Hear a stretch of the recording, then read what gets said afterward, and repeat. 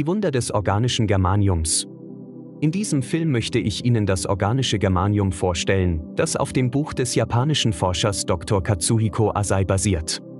Das Buch selbst stand vor Jahren auf der Verbotsliste und ist meines Wissens nach immer noch nur in deutscher und englischer Sprache erhältlich.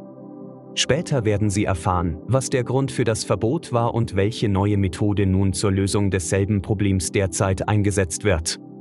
Und zwar, um einen sehr lukrativen Marktanteil nicht zu gefährden.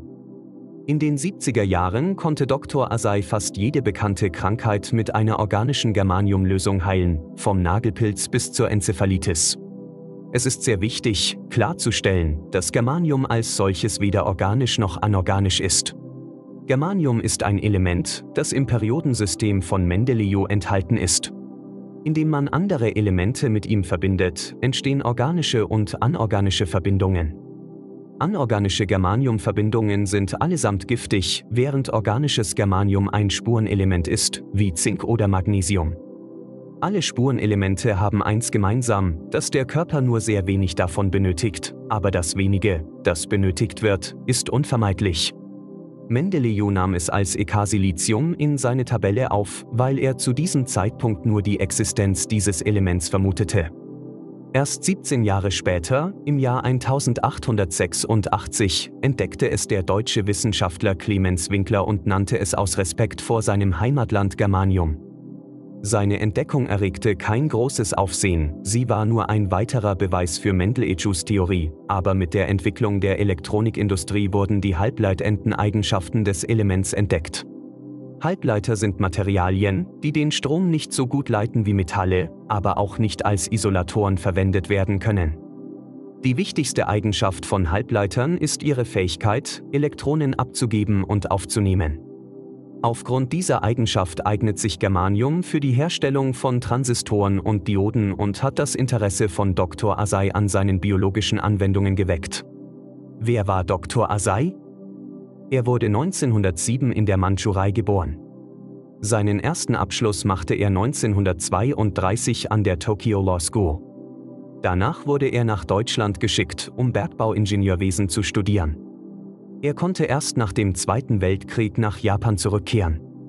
Anschließend begann er mit der Forschung im Bergbau und wurde mit der Wiederbelebung des japanischen Kohlebergbaus beauftragt. Er war der Erste, der Germanium in einer Kohleprobe nachwies. Einige Kohlesorten enthalten recht hohe Mengen davon. Dr. Asai vertrat die Theorie, dass es aus dem Körper der Pflanze und nicht aus dem Boden in die Kohle gelangt. Kohlenstoff wird bekanntlich aus den Körpern abgestorbener Pflanzen gewonnen.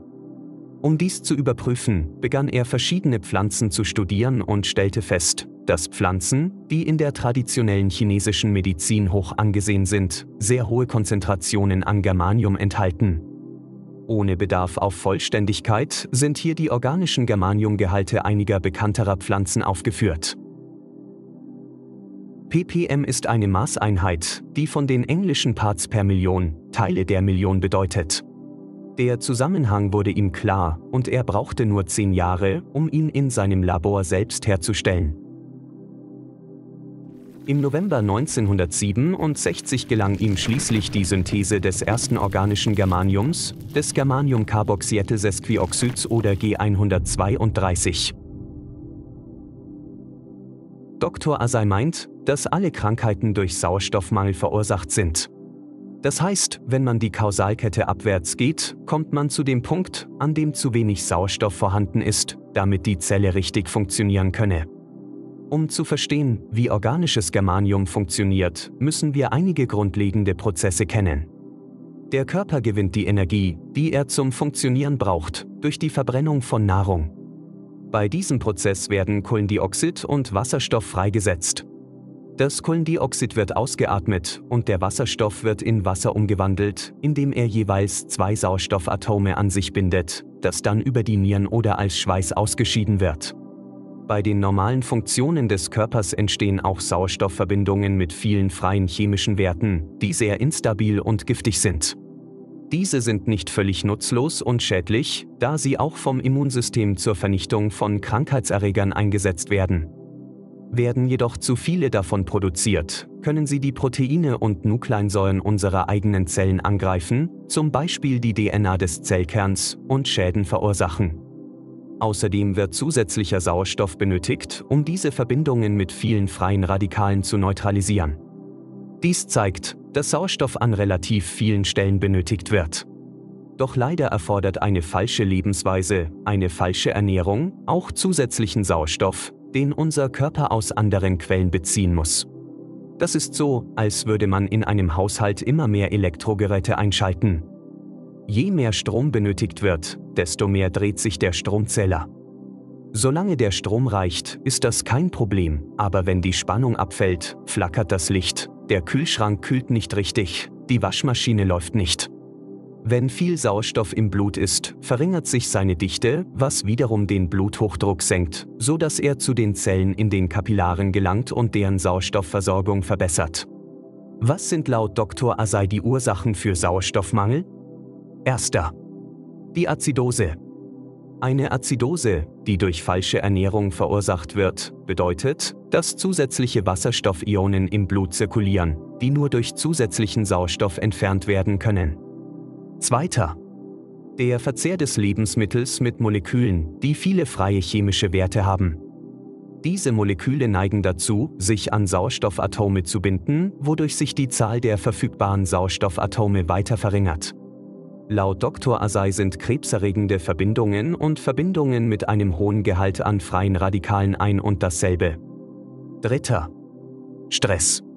Laut Professor Hans Seile führt ständiger Stress dazu, dass der Körper Hormone produziert, zum Beispiel Adrenalin, die ebenfalls zur Übersäuerung beitragen. Seine Experimente an Mäusen haben gezeigt, dass Tiere unter Dauerstress schnell krank werden und sterben. Als Dr. Asai mit der organischen Germaniumlösung fertig war, befand er sich in ernsten Schwierigkeiten. Er litt an so starkem Rheuma, dass er praktisch stationär behandelt werden musste. Seine Ärzte konnten ihm nicht versichern, dass sich sein Zustand verbessern würde. Anstatt weiter zu warten, probierte er es selbst aus, um zu sehen, was organisches Germanium leisten kann. In den ersten Tagen der Behandlung trat nur eine leichte Besserung ein, aber er setzte die Behandlung fort und konnte am zehnten Tag aufstehen und einen kurzen Spaziergang um das Haus machen. Er hatte einen befreundeten Therapeuten, der in der Nähe wohnte und von Zeit zu Zeit Akupunktur zur Linderung seiner Schmerzen einsetzte. Er war der erste Außenseiter, der gesehen hat, wie sich jemand von einer Krankheit, die die moderne Medizin als unheilbar ansieht, innerhalb weniger Wochen vollständig erholte. Und er war der Erste, der seinen eigenen Patienten die organische Germaniumlösung von Dr. Asai verabreichte, mit großem Erfolg. Als sich dies herumsprach, wurde die offizielle Medizin darauf aufmerksam und verbot es, weil die erforderlichen Genehmigungen fehlten. Er war daher gezwungen, das Genehmigungsverfahren einzuleiten. In einem ersten Schritt wurde geprüft, ob organisches Germanium giftig ist. Dr. Asai unterzog die von ihm synthetisierte GE132-Verbindung den üblichen toxikologischen Tests in einem akkreditierten Institut, die zeigten, dass das organische Germanium völlig harmlos ist. Um auf Nummer sicher zu gehen, nahm Dr. Asai seine tägliche Dosis bis zu 3 Gramm ohne Probleme. Jüngste Tests an Mäusen zeigen, dass ein 70 Kilogramm schwerer Mensch 238.000 Milligramm organisches Germanium zu sich nehmen müsste, um als giftig zu gelten. Das ist das 158-fache der empfohlenen Höchstmenge. Wichtig! Die anorganischen Germaniumverbindungen, die in der Elektronikindustrie verwendet werden, dürfen nicht mit organischen Verbindungen verwechselt werden, da erstere hochgiftig sind. Aus Zeitgründen kann ich Ihnen nicht über seine Experimente mit Pflanzen und verschiedenen Tieren berichten, aber in jedem Fall war die Wirkung spektakulär und sehr positiv. Pflanzen sind widerstandsfähiger gegen extreme Wetterveränderungen geworden und kranke oder verletzte Tiere haben sich blitzschnell erholt. Schauen wir uns an, wie organisches Germanium funktioniert. Wie ich früher sagte, ist organisches Germanium ein Halbleiter, weil es sich leicht mit bestimmten Atomen verbindet. Es ist pathologisch erwiesen, dass Germanium an die roten Blutkörperchen bindet, wodurch das Blut mehr Sauerstoff transportieren kann. Wasserstoffatome neigen auch dazu, sich an Germaniumatome zu binden, wodurch Germanium bei diesen Prozessen den Sauerstoff ersetzt. Dadurch wird auch freier Sauerstoff produziert und die Sauerstoffversorgung der Zellen verbessert. Und in Gebieten, in denen vorübergehend ein anaerobes, sauerstoffarmes Umfeld herrscht, kann Germanium dank seines hohen elektrischen Potenzials die Zellen mit Energie versorgen. Interessanterweise kann man das spüren. Viele Patienten haben ihrem Arzt berichtet, dass sie nach der Einnahme der organischen Germaniumlösung ein seltsames warmes Kribbeln im Körper verspürten. Es ist sehr interessant, dass das Auto sofort anspringt, wenn man eine Germaniumlösung in eine völlig entladene Autobatterie gibt. Diese Tatsache ist wissenschaftlich schwer zu erklären, aber sie ist mit Sicherheit darauf zurückzuführen, dass die Batterie durch das elektrische Potenzial des organischen Germaniums aufgeladen wird. Experimente an Mäusen und Menschen haben gezeigt, dass es die Produktion von Interferon erhöht, das vor Viren und Krebs schützt. Germanium stimuliert die Makrophagen, deren Aufgabe es ist, den Körper von Zellen zu reinigen, die dort nicht zu suchen haben. Bakterien, Viren, Krebszellen. Makrophagen können das Wachstum von Krebstumoren verhindern, wenn sie in ausreichender Zahl vorhanden sind. Ich hoffe, Sie konnten mir bis hierher folgen und ich war nicht zu langweilig, denn wir werden jetzt zur Erklärung der Quantenphysik kommen. Bleiben Sie jetzt bis zum Ende, denn es lohnt sich. Nach der Definition der Quantenphysik ist ein Mensch eine Ansammlung von Teilchen mit einem sehr kleinen elektrischen Potenzial. Der Tod kann auch als ein Körper ohne elektrisches Potenzial definiert werden. Immer mehr medizinische Instrumente basieren auf der Messung dieses winzigen elektrischen Potentials, aus dem sie auf die richtige oder falsche Funktion eines bestimmten Organs schließen können. Jedes Organ hat sein eigenes normales elektrisches Potenzial. Wird ein anderer Wert gemessen, deutet dies auf eine Erkrankung des betreffenden Organs hin. In der Quantenphysik ausgedrückt, wenn es gelingt, das elektrische Potenzial eines Organs wieder auf den richtigen Wert zu bringen, wird das Organ normal funktionieren. Krebszellen zum Beispiel haben nachweislich ein hohes elektrisches Potenzial. Dies könnte erklären, warum sie sich so schnell vermehren können. Und das organische Germanium bindet Elektronen an sich selbst, wodurch das Potenzial der Krebszelle gesenkt und in den Normalzustand zurückgeführt wird. Hier zeigt organisches Germanium das gleiche Verhalten, das für Halbleiter typisch ist und das bei der Herstellung von Transistoren oder Dioden so nützlich ist. Stellen Sie sich vor, man kann mit organischem Germanium betäuben. Schmerz ist ein elektrischer Reiz, ein Elektronenfluss vom Ort des Schmerzes zum Gehirn. Das Prinzip der Anästhesie besteht darin, den Weg dieses Elektronenflusses zu blockieren. Natürlich ist der Schmerz da, wir spüren ihn nur nicht. Organisches Germanium kann diese Elektronen auch an sich selbst binden und diese Art der Anästhesie hat auch bei längerem Gebrauch keine Nebenwirkungen. Dies ist auch ein Kompliment für den medizinischen Einsatz von Halbleitern, denn es gibt derzeit Tausende von Medikamenten auf dem Markt, von denen keines halbleitende Eigenschaften hat. Und es hat noch eine weitere sehr wichtige Eigenschaft. Da es halbleitend und nicht metallisch ist, reichert es sich nicht im Körper an, sondern wird innerhalb von 20 bis 30 Stunden ausgeschieden. Dies ist besonders nützlich, wenn es darum geht, die Schwermetalle zu beseitigen, die wir über Jahrzehnte aus unserer Umwelt aufgenommen haben.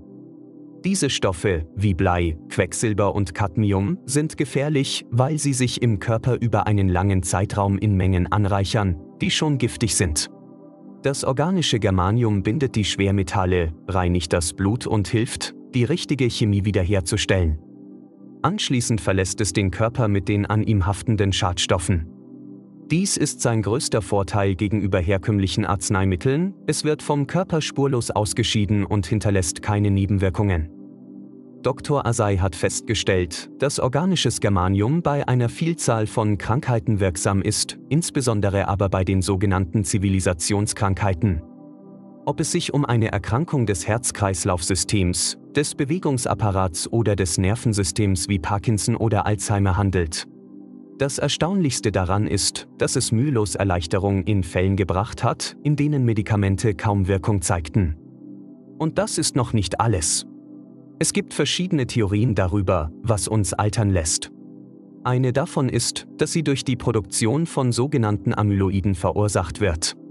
Dabei handelt es sich um abnorm veränderte, unlösliche Proteinketten, die sich in den Zellzwischenräumen, vor allem in Herz und Gehirn, ablagern und im Laufe der Zeit die ordnungsgemäße Funktion der Organe zunehmend beeinträchtigen. Studien an Mäusen haben gezeigt, dass die Einnahme von organischem Germanium zu einer deutlich geringeren Amyloidbildung führt.